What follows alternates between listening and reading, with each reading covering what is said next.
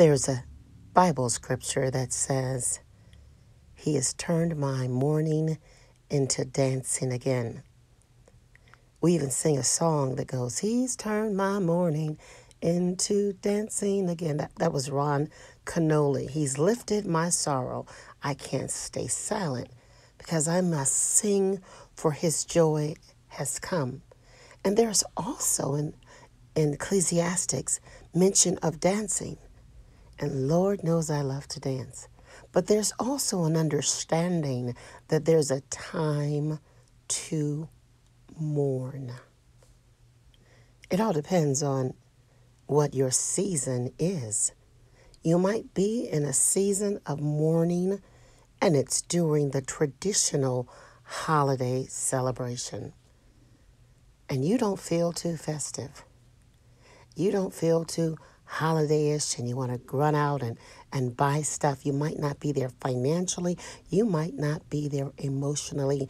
And it is okay.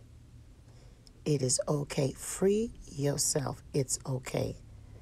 Don't allow others to judge you and hold you to being where they are in their life process, in their season, or what they mimic to look as if it's their season. Because if you have lost a loved one, or if this is the time of year where you re, you remember the loved one you lost during this time of year at another year, or if it's just something that you're going through or you know you have to face and you're not happy about it, it is okay. It's okay. It's okay. It's okay to be in that place. You know, um, see, wherever we are in life, we have a friend that sticks closer than a brother we are also given the Holy Spirit a come beside. And there's some places and time in your life when you just have to be where you are to work that through because if you push too fast, like a, a, a, a, a caterpillar becoming a, water, a, a butterfly, you're going to mess some things up. You won't have the lessons you needed to learn, the vibrancy. You won't be in the right timing. It's okay to be where you are and to choose to say, I just don't feel like celebrating today. And I want to stay before the Lord in prayer. Emmanuel is a God who is with us and he sees us and he's been tempted. He's felt all the things that we have felt and he is with us. He's just going to sit there with us and know in that God is with you.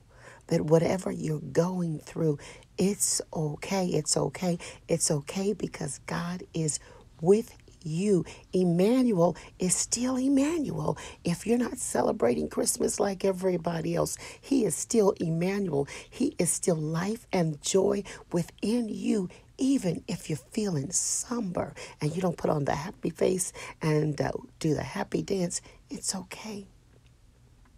Don't judge yourself in your process of where you are. Be transparent, be honest, and be free. Allow truth to come to you with your to your inward parts and say, This is where I am, God. And in that, know that right where you are, God is with you. Now, He may not keep you there, but He knows where you are, and He hears you, and He sees you, and He feels you that even before you tell him, he hears you. And while you are yet speaking, he's answered you. And it might not be that day, it may be further up the way. And you might put on your happy face one day, but it's okay to put your face, to go prostrate. It is okay to lay before the Lord and say, I surrender all. And this is my holiday celebration. I am somber, but I am still focused on God. I'm still focused. I may not be putting um, lights out in front of my house because I'm just not feeling it this year. This is a pandemic year and I've been feeling this. I may not feel like that and it's okay because it is he is still Emmanuel in my heart. He is still the God who's come to save me, even in this situation. And it may not be a turnaround today, it might be tomorrow, but He is still Emmanuel. That does not stop you from experiencing the great I am that I am, who will be what you will need, what you need Him to be. He'll be your Yahweh Nisi. The banner over you is love, even in this process where you're not happy and joyous, but you're just sitting before the Lord and waiting and hurting and allowing healing because in this process you're learning and you're learning to yield and to clear every crack and crevice that you have hidden from yourself and turn it over to the Lord. Some things take time, and it's okay if this is your time. It may not fit everybody else's time.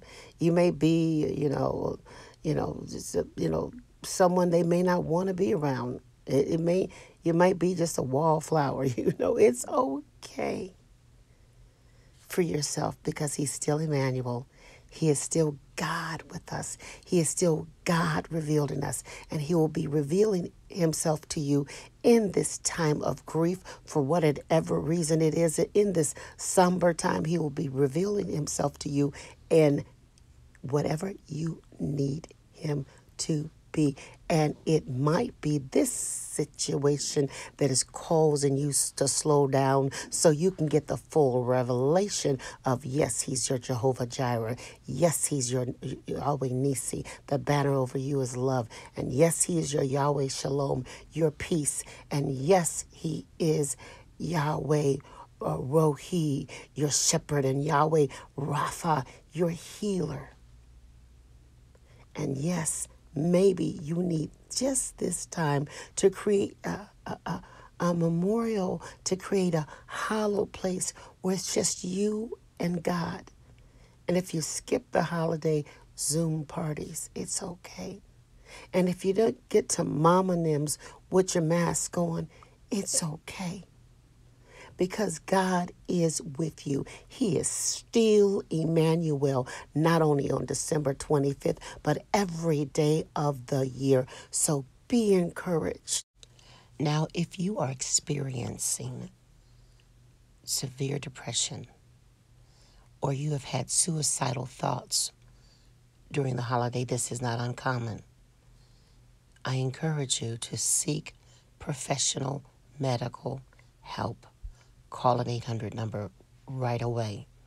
If this is not simply, I am bowing out of the holidays because I am just not feeling it today, but if you have a pattern of mental illness, get the help you need this holiday. Don't let this holiday make you think that you are alone. Remember, Emmanuel, God is with us and God will work through people to give you the help you need. Please do not hesitate. If you are having suicidal thoughts or know of someone who is having suicidal thoughts and the holiday is just provoking depression and experiences from the past, post traumatic stress around this time or any time in your life, please, please I implore you, I admonish you, I strongly encourage you to direct your attention to getting the help you need.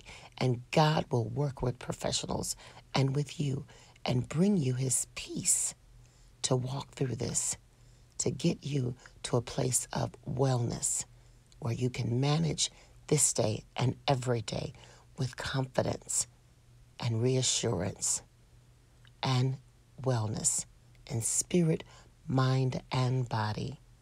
Don't forget how much you are so, so very much loved. And He came for that reason.